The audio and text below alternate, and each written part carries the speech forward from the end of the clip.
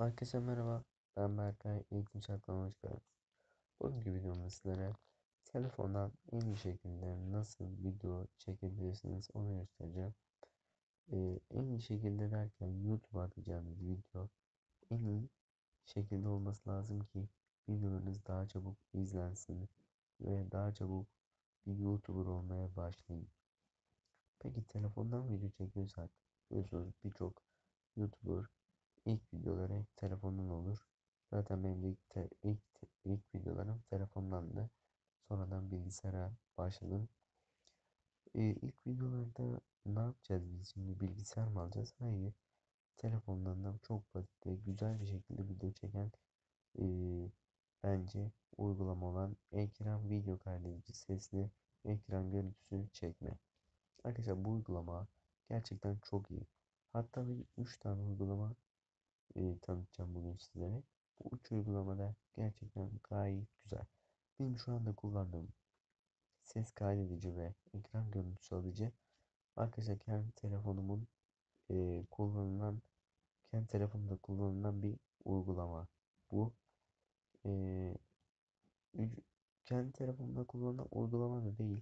Telefonun kendi e, özelliğin özelliğinde olan bir ekran kaydedici programı var.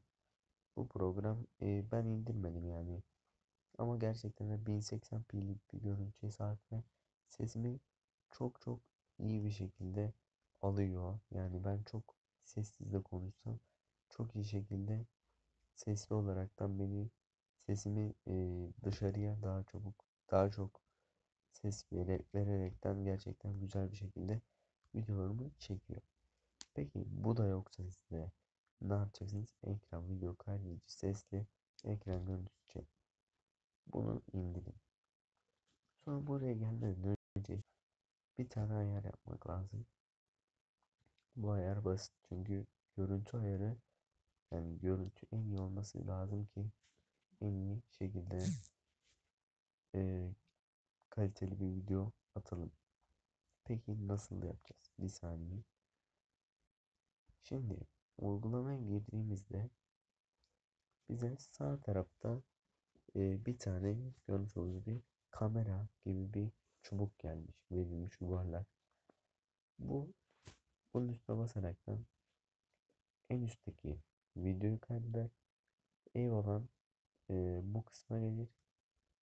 O altındaki bilmiyorum ne, ne işe yarıyor ama e, en alttaki de büyük ihtimal kaydediyordu. Ben şu anda bunu kullanmadığım için pek bilmiyorum. Ee, ve buradan çekmemeye başladım. Kendi telefonumdan çektiğim için bunu kullanmıyorum. Sağ alt köşede olan kamera tuşuna basaraktan buradan e, bir ekran ses kaydı yapabiliyoruz. Yani buradan da yapılabiliyor. Buradan resimlerimiz var. Resimleri birleştiren bir uygulama ile Burada sonra video düzenleyip videoda birleştirebiliyoruz.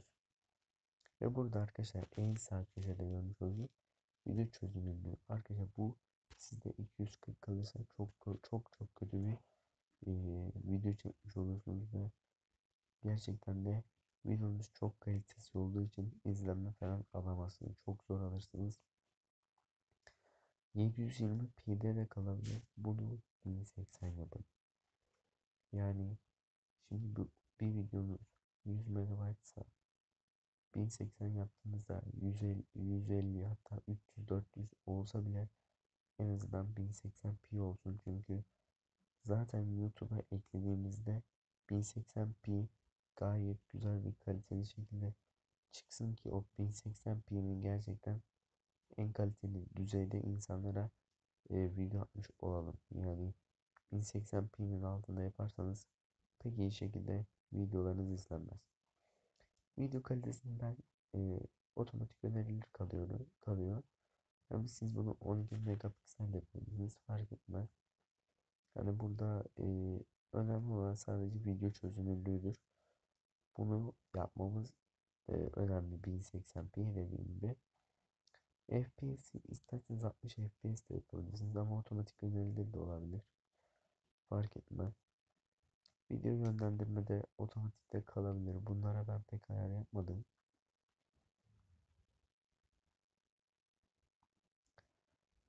Android tarafından iç ses kaydına şimdi izin verilmediğinde hoparlörleri kullanın.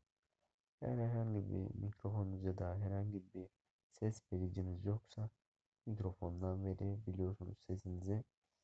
Video rengini dönüştürün var. Bunları açmıyorum ben. Kayıt modu standart olarak falan kalıyor. Zaten pek başka ayar yapmıyorum ben. Ee, tek çözünürlüğü e, yapıyorum. Ve sonra da e, video kalitesini e, otomatik önünde benim kalıyor. İsterseniz bunu dediğim gibi yine 12 megapikselde yapabilirsiniz ya da 8 fark etmez. Burada bir de bazen gelen çağrı için kaydı duraklat kısmı var. Gelen çağrınız olursa kaydı duraklatıyor.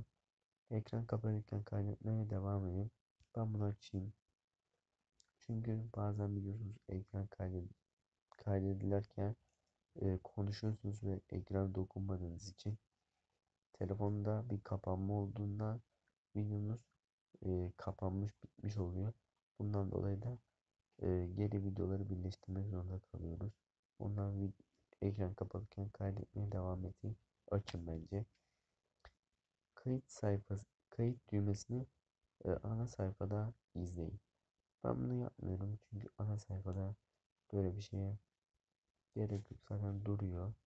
Hani fark etmez basarsanız da gözükmez. Hani e, bu sizin tercih meselesidir. Kayıt işlemi geri sayım var. Geri sayım yok. 3 saniye, 5 saniye, 10 saniye yapabilirsiniz.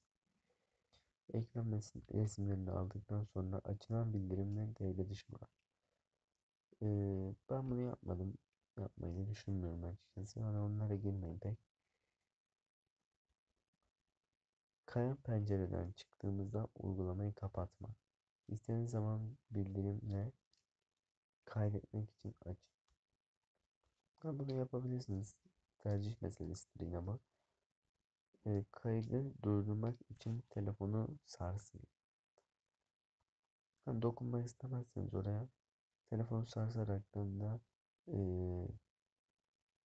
cihazınızın hassasiyetini ters etmek, test etmek, test etmek için cihazınızı sallayın. Bunu yaparak da hassasiyeti arttırıp mesela onayladım. Hassasiyeti arttırdım. Bu şekilde yaparak da e, direkt buraya dokunmak yerine direkt telefonu sarsarsınız ve gerçekten de iyi bir şekilde oluyor. Çünkü insanlar direkt buraya gidip buradan basıyorsun falan hani bu kötü duruyor açıkçası. Hatta bunu kapatabilirsiniz. Ee, yine buradan kayıt yaparken kayıt penceresinde gizle bunu gizleyebiliyorsunuz. Kayıt modu standarttan başka bir şey temel de yapabiliyorsunuz ama standart yine iyidir. iyidir. Burada ayarlar kısmı bu kadar. Bu uygulamanın neden ben tercih ediyorum? Bugün size 2-3 tane 2-3 tane e, video anlatacak video video e, çekmek için güzel program anlatacaktım ama e, vazgeçtim çünkü en iyi şekilde uygulama bence bu. Hani yine video düzenleyen, düzenleyen, videoları birleştiren ve resmi düzenleyip resmi birleştiren en iyi uygulamanın bu olduğunu düşünerekten bence bu uygulamayı kullanaraktan videolarınızı daha iyi ve daha kaliteli bir şekilde çekebilirsiniz artık. Ve zaten sizlere bir video attım. Evet attım. Bu bu video şöyle bir video. Ee, Android tanıttım. Bu Android video telefonda e, video düzenleyici programına tanıttım. Hani o da videoyu düzenleyip videoları birleştiren bir uygulama ama onda 40 falan da var hani ondan dolayı e, Android'i de kullanabilirsiniz. O zaten kanalımda yayında. E, ilk önce ona da bakarsanız sevinirim. Arkadaşlar e, bugünlük videom bu kadar.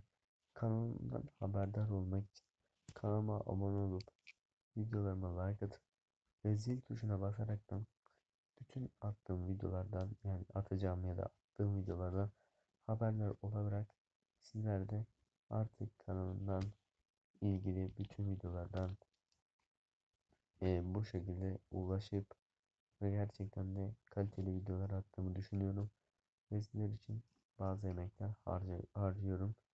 Bu emeğimin karşılığı bence bir like olsa yeterli olacaktır. Bu arada e, birkaç gündür bir şey fark ediyorum. Hani bazıları e, giriyor videolarıma direkt dislike atıp çıkıyor. Neden bilmiyorum ama daha görüntüleme yok dislike atılmış. Hani e, birkaç gündür ondan da fark ettim ama yine de onu da o kişiye de saygı duyarım. Hani e, çekememezlik ne olur ya da e, ona da bir şey demiyorum belki yine bizim sınıftan ya da bizim tanıdıktan biri de olabilir. Bilmiyorum artık. Yani insanlar insanlardan her şeyi bekler. Neyse arkadaşlar. Kanalıma abone olup videoma like atırsanız sevinirim. İyi günler dilerim.